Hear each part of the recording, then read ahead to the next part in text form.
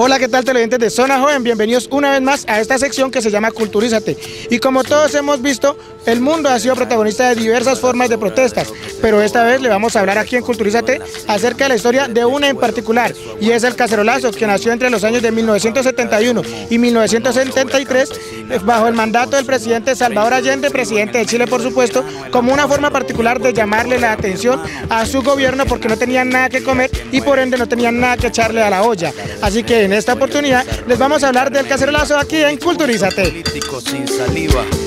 más que he conocido. Soy la fotografía de un desaparecido, la sangre dentro de tus venas. Soy un pedazo de tierra que vale la pena una canasta con frijoles. Soy Maradona contra Inglaterra, anotándote dos goles. Soy lo que sostiene mi bandera, la espina dorsal del planeta en mi cordillera. Soy lo que me enseñó mi padre, el que no quiere a su patria, no quiere a su madre. Bueno, y ahora nos encontramos con Brian, que hace parte de esta particular forma de llamar la atención, como lo es el cacerolazo.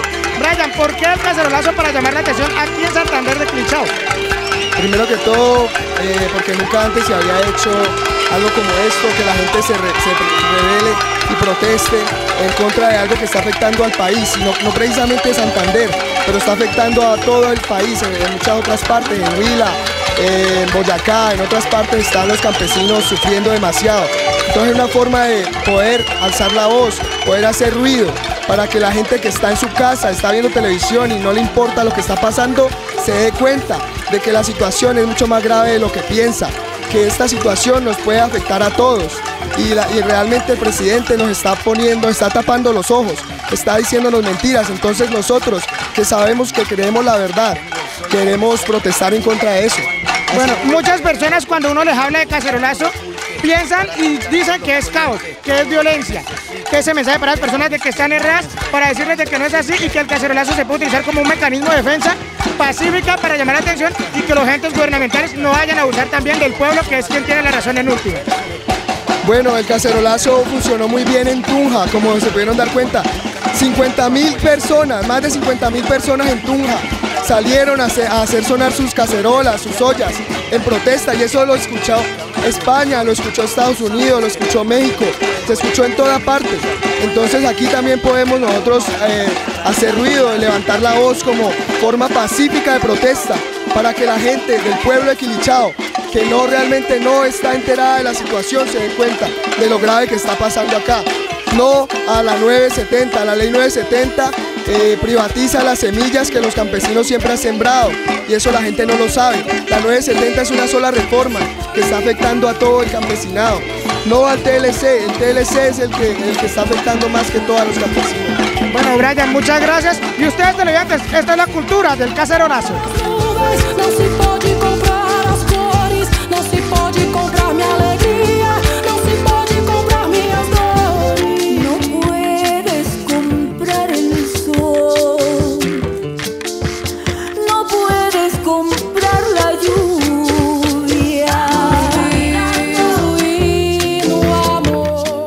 Bueno, y en este momento nos encontramos con Julián Cifuentes, uno de los que hace parte de esta particular protesta, por supuesto, que es el cacerolazo aquí en Santander de Clichao. Julián, bienvenido a Zona Joven, a la sesión Culturizate y cuéntanos por qué esta forma pacífica de protestar. Bueno, primero, eh, buenas noches y muchas gracias a todas las personas que correspondieron a este llamado que hicimos, un llamado que hemos hecho por la dignidad campesina.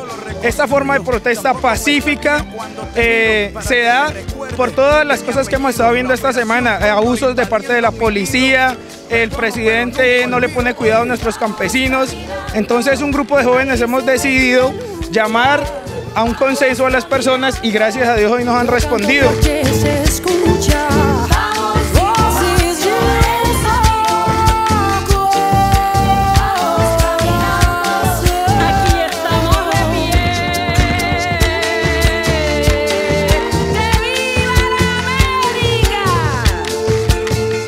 Televidentes de Zona Joven ya lo saben, el cacerolazo, una forma pacífica de llamar la atención de nuestros mandatarios y hacernos sentir, y también por supuesto de hacerles saber de que el pueblo es quien tiene la razón. Y aquí en Zona Joven les hemos traído un fragmento de lo que es la historia del cacerolazo en Culturizate. Nos vemos en una próxima ocasión en esto que es Zona Joven, sencillamente tu territorio.